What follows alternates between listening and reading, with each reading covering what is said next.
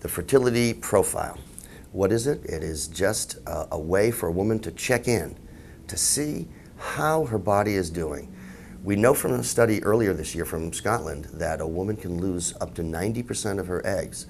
Most do. 90% of their eggs are gone by the time they hit age 30. Now, your ability to conceive is maintained fairly well between 30 and 35, although we do see a slight drop off, despite the tremendous loss in eggs. But by between 35 and 38, there's a tremendous drop off. And you know, some of those people drop off at 32, and some people drop off at 34, and you really don't know. So what we're advocating is that we, a woman takes the bull by the horn, so to speak, and investigates her own ovarian reserve. You have um, the uh, two blood tests. There's the traditional test called FSH, or follicle stimulating hormone. This is a blood test that has to be drawn on the third day of your menstrual cycle. So the first drop of menstrual flow is day one, and then two, and then day three, we draw your FSH. So it's a, it's a, a test uh, drawn just blood from your arm, and um, we are looking for a number. It's arguable, but less than 10, less than 12. Um, and uh, if it were to be greater than 22, 23, you're already getting into menopause. The second blood test is a, a newer test, only been out two or three years, and uh, many OBGYNs um, uh, are unfamiliar with the test, and a lot of people in the field of infertility don't use the test. Um, I know that because I get records from other doctors and I see that they're not utilizing this test. I think it's an important test, and what's nice about it, the anti-Mullerian hormone test, is it's not cycle specific. You can take it any day and have the blood drawn, and th that number gives us an idea as to how many eggs are sort of awake and alert and oriented and, and, and functioning.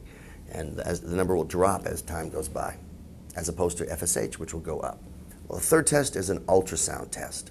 This is a usually a vaginal ultrasound, so it might be a little uncomfortable, although most women are tolerated very easily. Um, it's just a thin vaginal probe, and we look at your ovaries, and very quickly can count the number of small little pre-ovulatory eggs, and they're called antral follicles, and the title is antral follicle count. We look on the left and we look on the right.